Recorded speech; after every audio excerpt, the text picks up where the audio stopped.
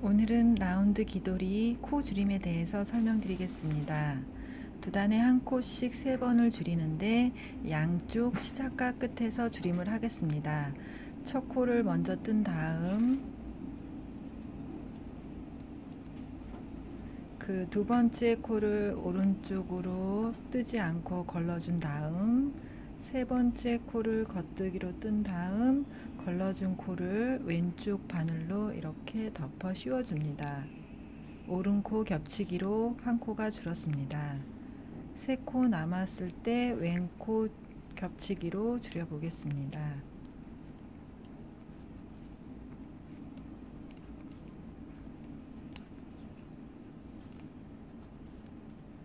세 코 남을 때까지 겉뜨기로 뜨겠습니다.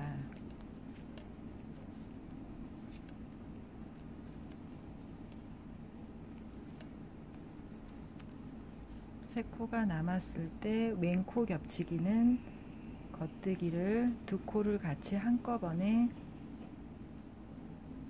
떠서 한 코를 줄여줍니다. 왼코 겹치기라고 합니다. 마지막 코를 떠줍니다.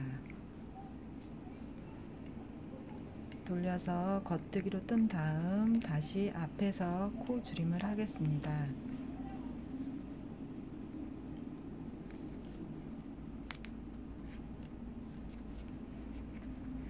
두 단에 한 코씩 양쪽으로 줄이는 거라 뒷면은 겉뜨기로 다 뜨시면 됩니다.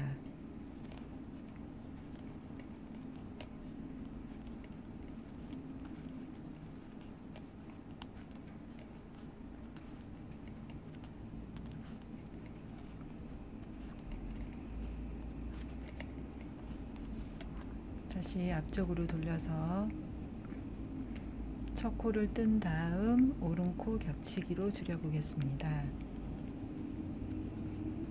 첫 코를 겉뜨기로 뜨고 두 번째 코를 뜨지 않고 오른쪽 반으로 걸러준 다음 세 번째 코를 겉뜨기로 떠서 걸러준 코를 왼쪽 바늘로 덮어 씌워줍니다. 오른코 겹치기라고 합니다. 겉뜨기로 뜨면서 세 코 남았을 때 왼 코 겹치기로 줄여보겠습니다.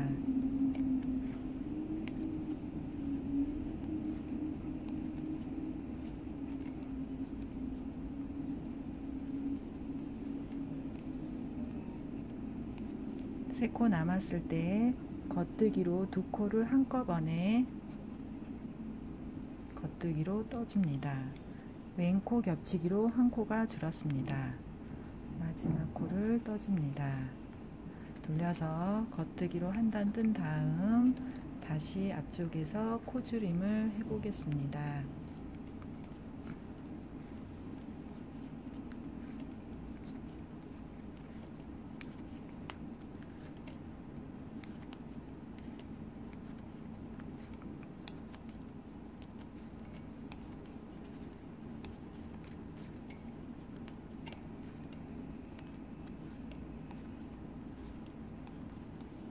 다시 겉감면으로 돌려서 첫 코를 뜬 다음 오른코 겹치기로 줄이겠습니다. 첫 코를 뜨고 두 번째 코를 오른쪽 바늘에 걸러준 다음 세 번째 코를 겉뜨기로 떠서 걸러준 코를 왼쪽 바늘로 덮어 씌워줍니다. 오른코 겹치기라고 합니다.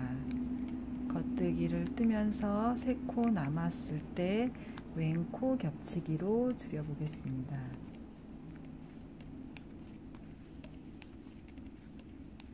세 코 남았을 때 겉뜨기로 두 코를 한꺼번에 왼코 겹치기로 한 코가 줄었습니다.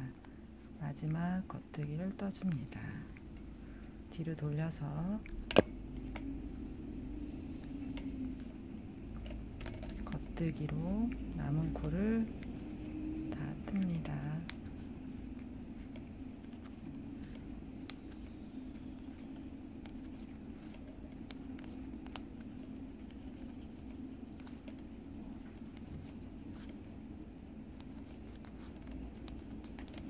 다시 겉감면으로 돌려서 두 단에 한 코씩 세 번을 코줄임을 하였습니다.